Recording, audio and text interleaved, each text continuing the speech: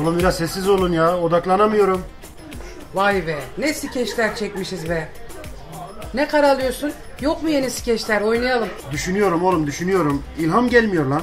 Sabahtan beri ne düşünüyorsun moruk? Bul bir şeyler. Ya oğlum sabahtan beri gündeme bakıyorum. Değişik bir şey bulursam yapıştıracağım. Afı yok biliyorsun. Oğlum duydun mu lan? Somali'nin parası bizim paramızdan daha değerli olmuş. Al işte gündemde başka ne olacak ya abi. Ekonomik kriz, işsizlik, stres, sıkıntı, zamlar, enflasyon, açlık. Oğlum onlardan fazla bahsetme lan. Yerin kulağı var. Niye ya? Ne olmuş ki? Ne demek ne olmuş oğlum? Söylediğin şeylerden bahsedince rahatsız olanlar var. Abi boş versene ya. Benim bahsettiğim şeyden rahatsız olanların hepsinin tuzu kuru. Memleket batsa umurunda olmazlar ama memleket edebiyatını çok iyi yaparlar. Doğru. Abi yaz şöyle ekonomik sıkıntıyla alakalı bir skeç anlatını satayım oynayalım. Bizden rahatsız olanları da biz rahatsız edelim. Yazdım. Yazdın mı? Ne zaman yazdın abi?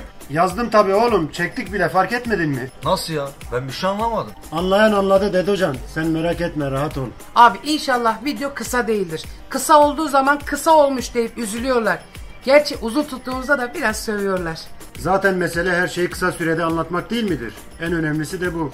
Buyur yapabilen yapsın. Vallahi kimler sövecek bilmiyorum ama birçok kişi sevecek. Onu biliyorum.